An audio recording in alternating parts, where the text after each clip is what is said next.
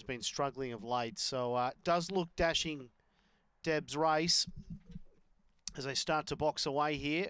We welcome everyone here to South Australian Greyhound Racing. It's been a hot day here today, 35 degrees. Green lights on here. This is the first. Favourite the one. Stand by. We're racing and dashing. Deb was the fastest away. It'll take up the running. Ebby Tock went to second. Running to third. Spring Pony probably four off the leader.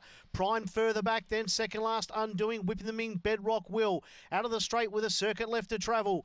Dashing Deb in front now. Spring Pony is uh, putting down the gauntlet here to the favourite. It's almost uh, a length away. Back in third was primed. Then came undoing next. Ebby Tock. Forget Bedrock Will. Up towards the corner. Dashing Deb just kicked again. Got out by about two or three to Spring Pony. Dashing Deb in front and Dashing Deb will win the first. Beat Spring Pony. Third undoing. Then came primed. Further back Ebby Tock and a big margin to Bedrock Will who was never in the race.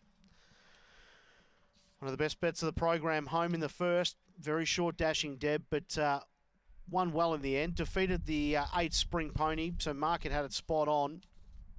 Spring Pony did serve it up to Dashing Deb down the back. For a moment, I thought it was going to get on terms, but uh, Dashing Deb was too quick. In a time here of 34.63. 34.63 the time. The first sectional 8.60, second and 18.04, third 21.51, the run home 13.12. Time 34.63. Number one, Dashing Deb, career start. Number 28, win number six for Gavin Harris by My Redeemer added Dashing DD.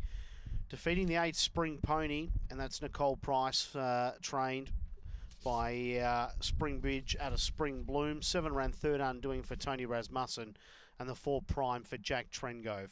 1874, the numbers here on the first at Angle Park in a time of 34.63. We stand by for the all clear.